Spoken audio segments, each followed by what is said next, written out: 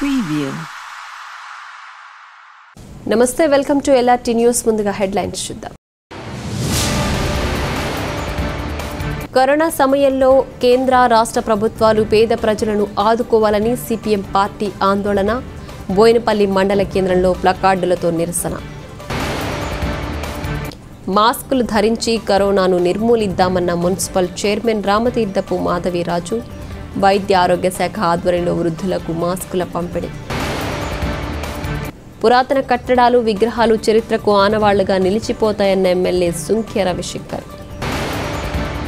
కరోనాతో కుదేలైన చేతి వృత్తిదారులకు ప్రభుత్వం ఇరవై వేలు భృతిగా చెల్లించాలని బీసీ రాష్ట్ర working president Dasu Suresh demand.